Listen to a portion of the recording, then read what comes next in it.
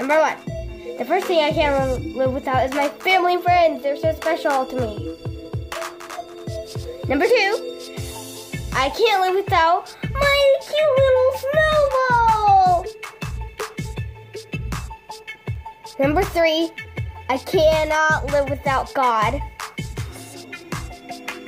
Number four, I cannot live without Christmas. You know how you know how much I'd suffer Five, I cannot live without YouTube. Oh my gosh. Okay, I think I lost count. I think I was on six. I cannot live without my American Girl dolls. Number seven, I can't live without doing jujitsu. Oh my gosh. Number eight, I can't live without water. Number nine, I can't live without all my Christmas gifts.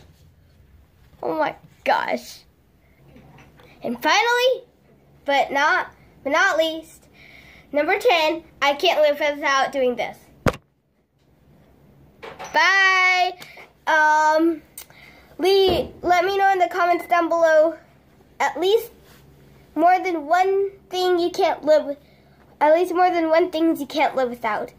And I can give you a shout out. Bye.